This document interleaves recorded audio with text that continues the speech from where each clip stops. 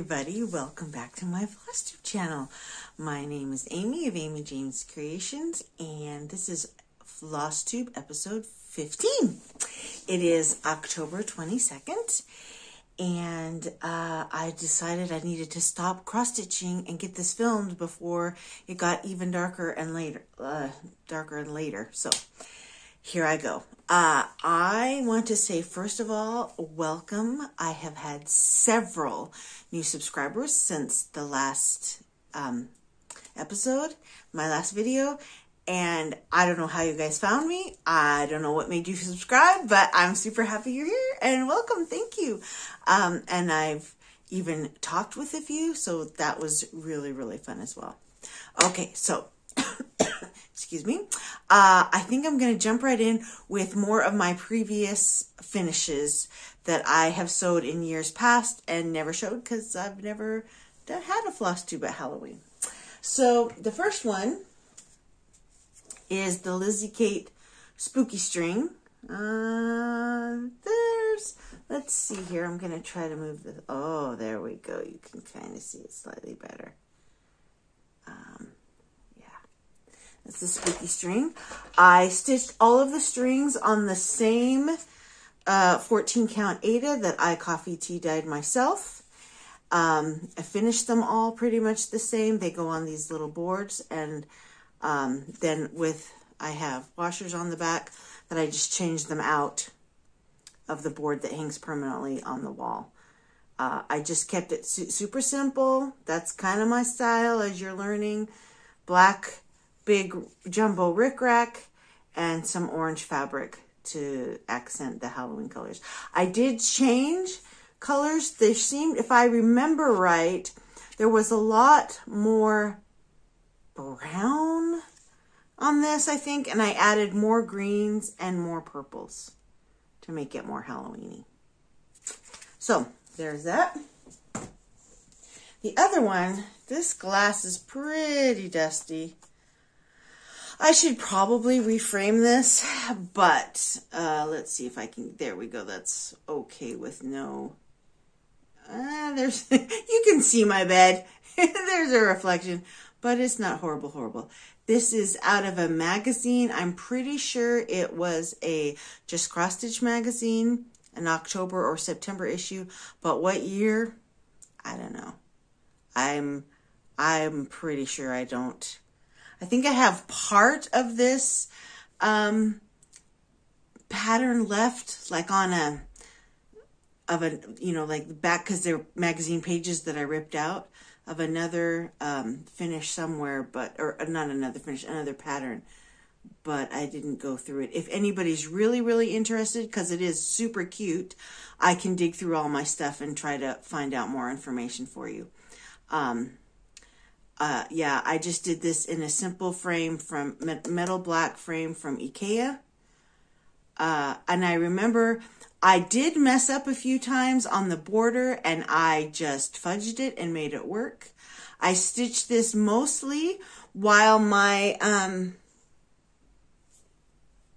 was it my two daughters or was it Noah? I think it was my son Noah was in swim class.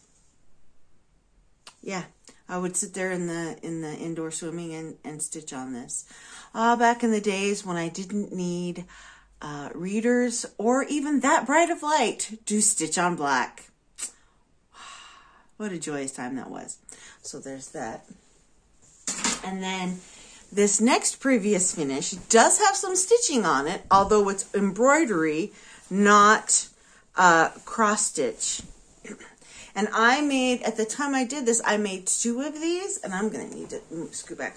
One for me and one for my brother and sister-in-law because they love Halloween.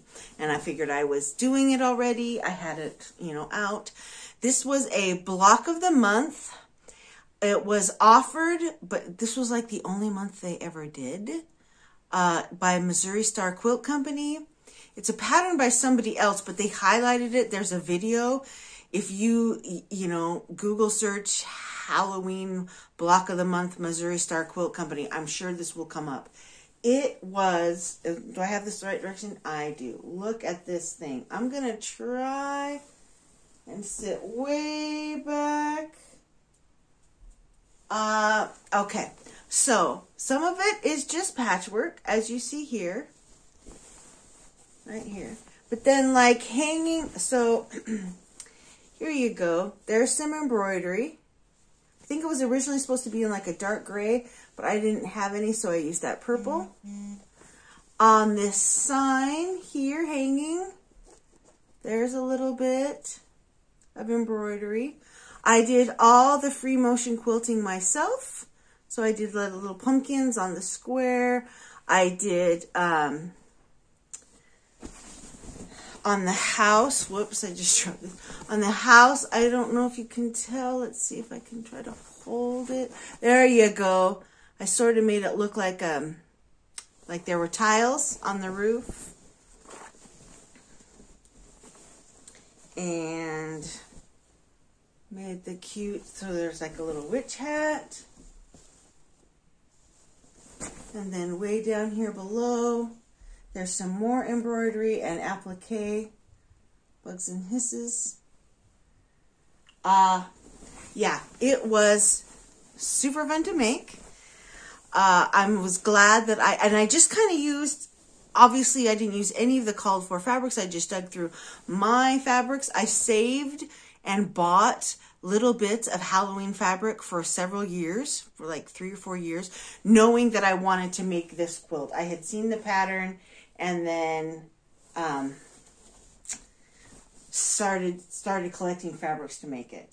And I'm glad that I did two at once because that I needed a break, you know, from from making the quilt. Um, but if my quit kids get uh, married and want a quilt of their own, I I will happily make one. I, I did keep the pattern for that because I could see that it had the potential for wanting to be used um, in future patterns.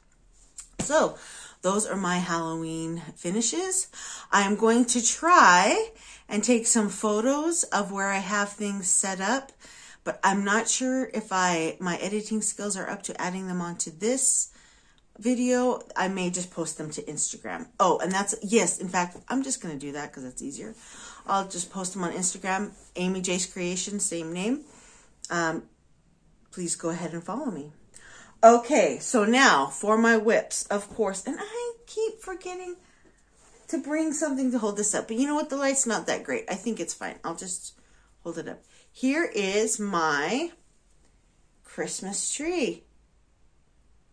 It is coming along. As you can see, there's just a few spots there where I still need to fill in that last green. I've got all the candles and all the Christmas baubles done.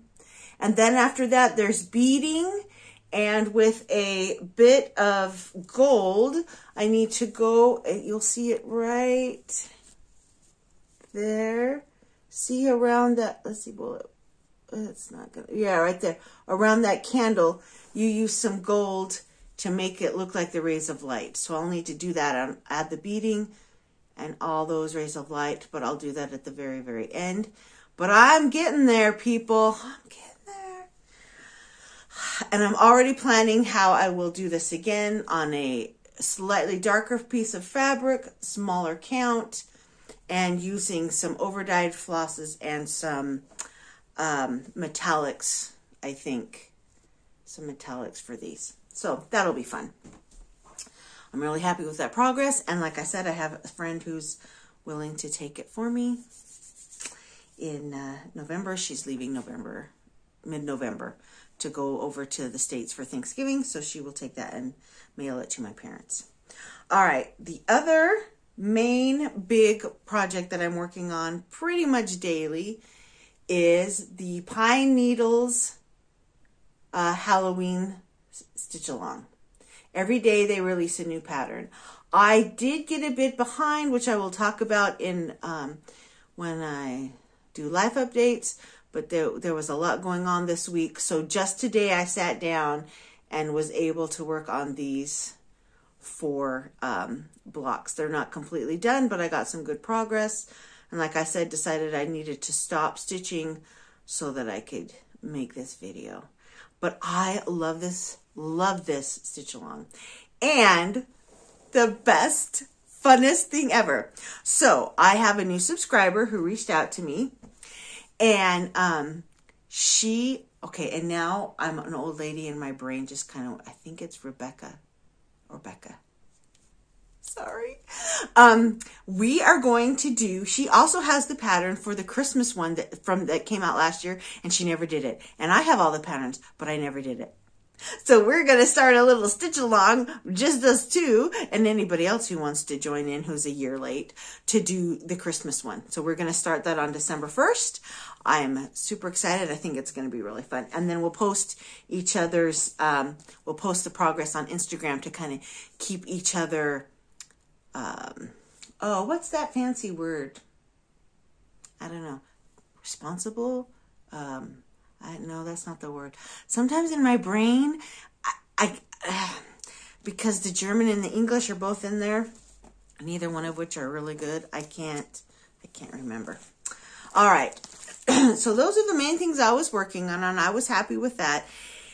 And then I was watching the Virginia Stitcher, and she showed some of her previous finishes. Now this wasn't fully finished when she show it, showed it, but it was this little witch pattern sitting on a pumpkin. And I went, oh, I have that pattern. And almost every year I look at that pattern and I think, mm, should I start it? Mm, maybe I won't. I don't know. Mm. And um, after my bout of fabric dyeing, which I will also show you, I decided I had dyed the perfect color and I was going to finally start this little witch. So here's what she's going to look like finished completely. Although I am not going to be doing this outer border because I don't have the buttons. So I'm not going to bother with it. And here is my start. Now, I would have had a whole bunch more done.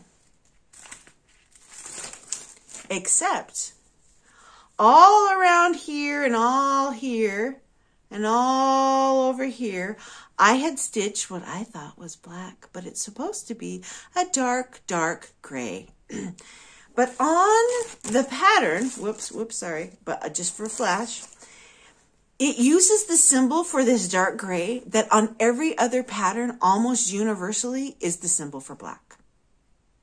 And so in my brain, I was like, oh yeah, black witch's hat. Nope, it's just a really dark gray that just gives the illusion of black with all these dark grays. So I had stitched that all in, discovered my error, and ripped it all out again. A couple people, like my sister-in-law, were like, oh, just leave it, just live with it. The contrast was too stark and I hated it. So I ripped it out. The second thing that I had to do is in this band here on her hat, if you look at the original, it's kind of hard to see in this, it's a blue. And then around here, there's blue. And then her socks are like a pink. I decided that my witch was going to have purple and purple and purple. So everywhere there's blue, I substituted uh, everywhere there's blue and pink, I'm going to be substituting purple. So I had gotten half of this done and decided, nope, I wanted the purple, ripped it all out and started over. And then I've moved on down to her hair. But I think she's absolutely adorable. Clearly, she's not going to get done for this Halloween, but that's not the point. I just like to stitch Halloweeny stuff during the Halloween season. So I'm fine with that. Um, I will get her finished next year and she'll be all ready. But yes, so this is on a piece of 32 count. Ooh, I know because I counted. 32 count gray. And I'm trying to see here if I, what can I hold this up against? Mm, pretty much nothing. Sorry. Um, I dyed this myself. I it's a super super watered down black dye. It has just slight modeling and I I really really really like how it turned out. You can kind of see it a little bit there. So there's so that's that. Then the last thing I I just I had another new start. my second new start, was I realized that I had not finished a Prairie Schooler Santa in a while. And my idea was that I'm going to have all, I'm making seven, no, the, yeah, seven Prairie Schoolers. Um, was the coordinate the the years that I'm doing are the years that matter. So like the year my husband and I were born, the uh, not born because Prairie Schooler Santas didn't exist back then. We're so old. But the years that my kids were born, the year we got married, those types. So that's why there's so I have five kids plus us. Oh, and then I was doing um I think I'm gonna maybe I don't have the pattern for it yet, but if I can find it, maybe for next year, I want to do the pattern for the year we moved to Switzerland, which is 2000. So I hadn't finished one in a while, and if I wanted at least the ones for all my kids done for this Christmas, I need to be going. So here's here's this is the 2001 Santa. Sorry, I don't know where the pattern is right now. I just grabbed this real quick. 2001. Santa for one of my daughters. Um, let's see if I can pull this up here. There you go. Uh, these are such quick fin quick stitches. I am doing them on a 40 count, darker beige. I don't know what the exact color is. It's linen that I bought direct from the Zweigart factory in Stuttgart. Um, I'm doing all my Santas on it, and I really like it. And with this one, I don't know why, but I got this crazy harebrained scheme that I was going to start the border first. And that's why there's like these little, and then I realized, oh, it stops where there's certain elements and I um, was having trouble counting them. So I just left these huge long strings of green to finish the border while I went ahead and did some more of the design. So that will probably get finished up this week. Very, uh, yeah, in the next couple of days. And then I can start another one uh, because it is mid-October and so I need to get going. All right, so I'm going to, I just realized that I left the fabric that I dyed in a not easy to reach spot. So hold on just a second. All right, I'm back. While I was getting the material, I decided to stop and get a board so I could hold up the fabric to give you a better uh, representation of the color.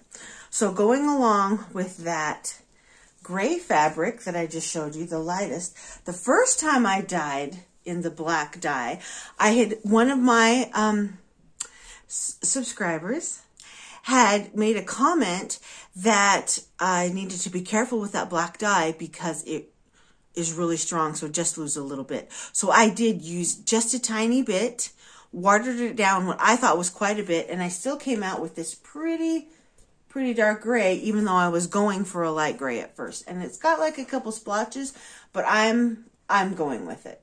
So that's, there's that. So then I dumped out some of the water and added, yeah, dumped out some, yeah, and then added more water to try to water it down. And I got this, which is slightly lighter, you can see but it was this tiny little scrap and I was like, that's not going to be big enough. And, but I used this to kind of see to gauge, is that, is that light enough? No, it was not. So that's when then I went ahead and I let out even more water, added more again, so diluted even more and got this. And I'm super happy with that. But it's good to know that you can get a pretty dark gray if I want. If I and I left these in, like I took the fabrics and dunked them in and then pulled them back out again. That's how long they were in the water. If I had left it in, you know, for even a whole minute, it would have been even darker. Um, so I was, but I was just playing around. I'd never done it before, and it was really, really, really fun. So then I didn't use all the colors either. I just got a few random, well, I cut some fabric from all the different yards that I had bought at the factory and um, played around with it. So then I did the green and I used, it's a Kelly green and this is a shimmer fabric. It's a shimmer Aida. I think it's a 16 count. And I did this, this was of course, I didn't use full strength. I just put in some. And uh, I got this really pretty green that I think could be really cute for some Halloween. Or not Halloween, wrong holiday. For some Christmas stuff. Um, but I wanted a, I was going for sort of a pale olivey green because I wanted to stitch, let's see, is it here on the cover? No.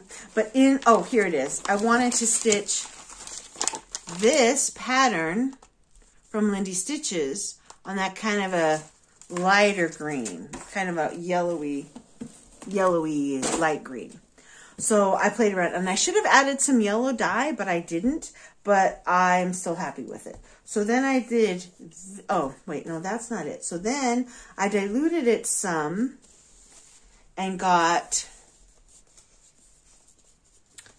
this green and I'm gonna so hold it up to show. These are both Aida's, although one is the opalescent and one is not, but it's quite a bit different. Um, also a very pretty green, but not, and let's see, it's kind of blowing out. Let's see, um, my light is horrible. I, it's more like the color in the magazine in real life, actually.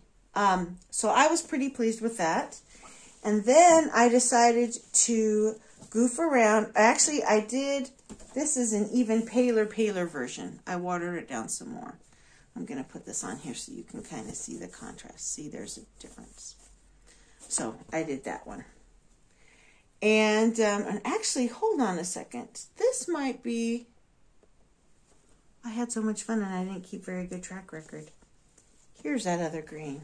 Here's another green on the Aida. Um, and then I had a blue.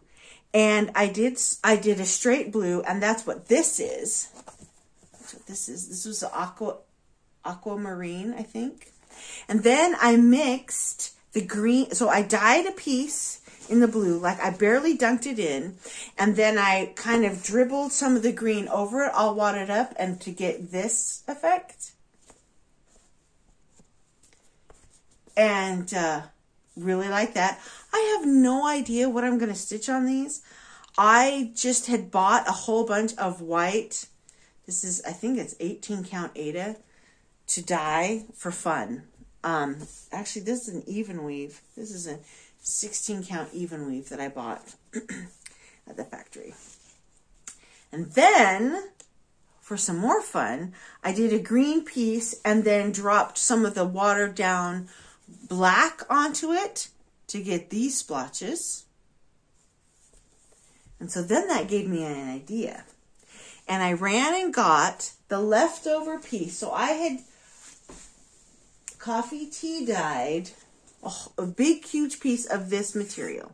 That I got, by the way, at um, the Goodwill, the Swiss version of Goodwill here.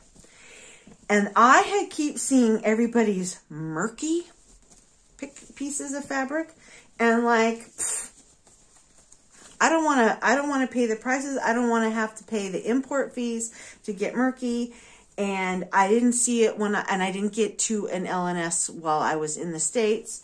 So I decided that I am a creative girl and I can make my own murky.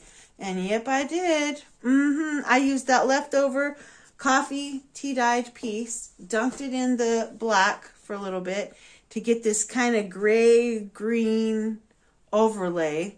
The, the, the, my light is really bad. I'll try to take some better pictures for Instagram. I did post a picture of it drying out on my balcony, but I am so thrilled with this. I really like it.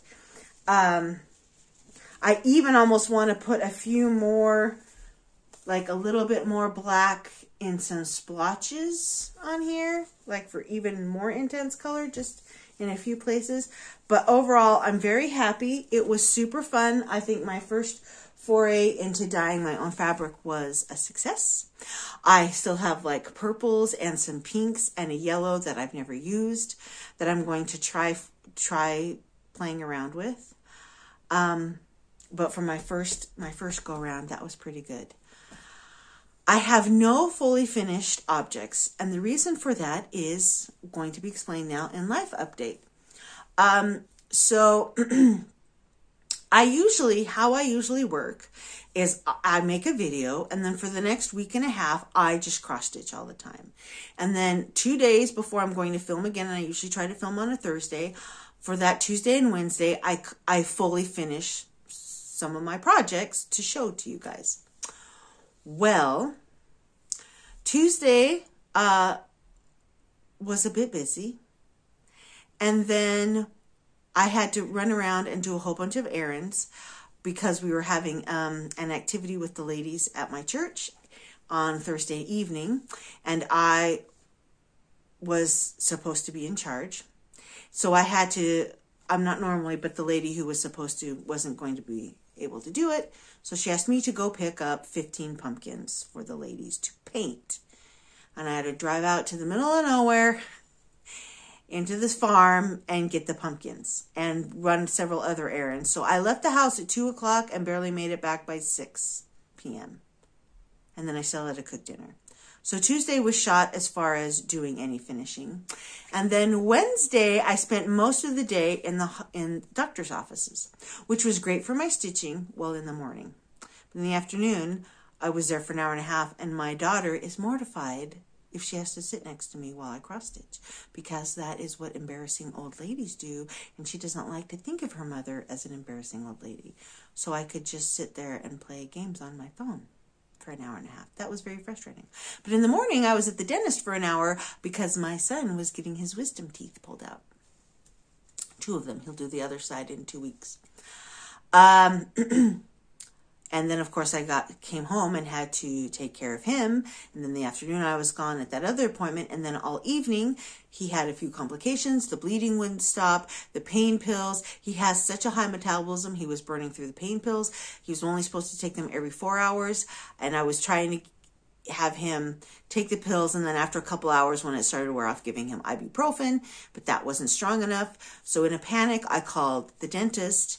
And um their office was closed, and his wife gave me his cell phone number.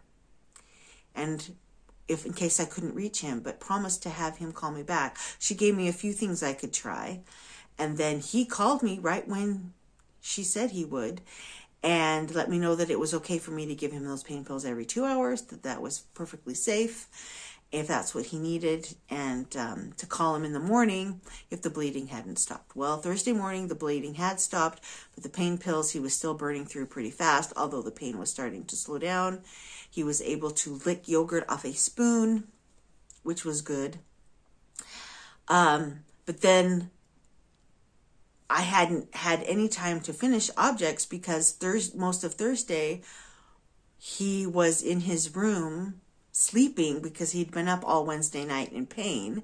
I saw him at like 6:30 a.m. eating some yogurt and then he went to bed. So I didn't want to wake him because he's I had turned his bedroom into my um, craft room when I, he was in the states, but now he's home, which I prefer, prefer to have him home than have a craft room. But and normally he's upstairs doing online school, but of course he's not when he's addled from pain pills. Um, so I couldn't get in there to do any finishes. And then at three, my daughters had a couple friends come over for a movie night, and that evening I had that activity. So, anyway, the day was shot for finishing or doing anything. And so today I decided I had gotten really behind on that Halloween SAL. I did go in and say to him, How do you feel about me being in here doing some finishing? And he said, uh, which I took to mean he did not want me to. So I didn't, and I just crossed it. So no finishes. But that means next time I will have a whole bunch of finishes to show you. So, uh, once again, thank you so much to all my new subscribers. Thank you for commenting. Please comment. I, I, I tried to leave an answer to every single comment or uh, for uh, the minimum a heart, but most of them I try to uh, comment on. So, yes, please continue. Give me any advice or tips or comments you want. Um, and if you're new and you just happen to randomly find it, if you think I'm not too weird or boring, please like and subscribe my video and, and join in. Um, and I will see you again in another couple of weeks, which means after Halloween. Oh, I forgot to tell you guys the very best news. I met up with Ina. So uh, through Stitch Harmony, um, just keep stitching. We she reached out and I answered her, and we ended up getting together. We met in Konstanz, a city in Germany that's right over the border from Switzerland. Spent the whole morning together, had breakfast, went a little shopping.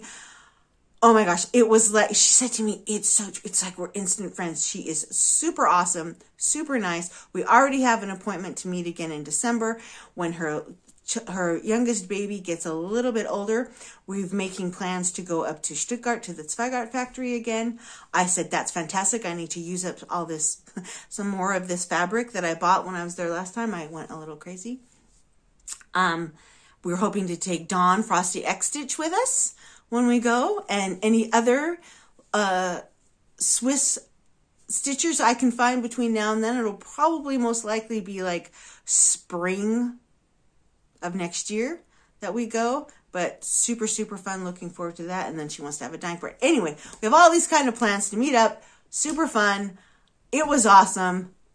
I loved it. And we barely even talked any stitching at all. We just we just connected and talked about all kinds of stuff. That was completely, completely awesome. So, sorry. I forgot. I saved the best for last. Yeah, that's what it is. Um, so, happy Halloween. I will see you in two weeks. Bye. Cheese.